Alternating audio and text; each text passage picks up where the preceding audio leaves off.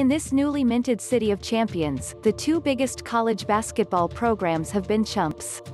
The Sunday announcement of this year's NCAA tournament brackets was a solemn reminder of all those years the locals have gone bust. The last time a college from Los Angeles won an NCAA Division I national championship, the current players on the UCLA and USC rosters had yet to be born. The last time a college from Los Angeles reached the Final Four, the semifinal game featured Kevin Love and Russell Westbrook against a team led by Derrick Rose. The last time a college from Los Angeles made the Sweet 16, Lonzo Ball was staring down Bam Adebayo and De'Aaron Fox. It's been 26 years since a title, 13 years since a Final Four, 4 years since a Sweet 16. For a city inhabited by the school with the most NCAA basketball titles, UCLA has won 11, can you believe it?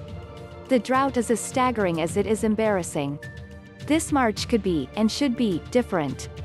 Neither UCLA nor USC seemingly has a real shot at a national title, but both have been placed on paths that could lead them to the tournament's second weekend, where a taste of the Sweet 16 would be a delicious triumph for both. It's about time. If not now, when? In a pandemic-plagued season filled with abrupt cancellations and strange blowouts and Oregon State winning the Pac-12 tournament, why can't even the flawed locals do some serious dancing? Mick Cronin, in his first tournament as UCLA's coach, has reached the Sweet 16 just once in 11 trips. It says here that in the next eight days, he will coach his team past the likes of Tom Izzo and Shaka Smart, and that one question mark on his resume will be answered.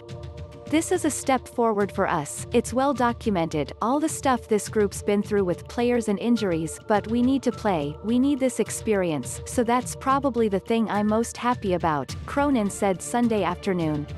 Andy Enfield of USC has one Sweet 16 appearance in three tournaments as a coach, and the Trojans haven't made it that far in 14 years, but they've rarely had a team this gifted and a tournament schedule this favorable.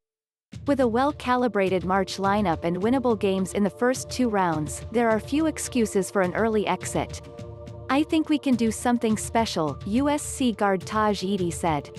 Both teams can, starting Thursday night when UCLA faces Michigan State in a play-in game disguised by the NCAA as something called the First Four.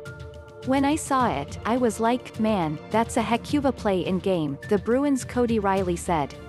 The Spartans' Tom Izzo is known as one of the best coaches in tournament history with one title and seven Final Fours.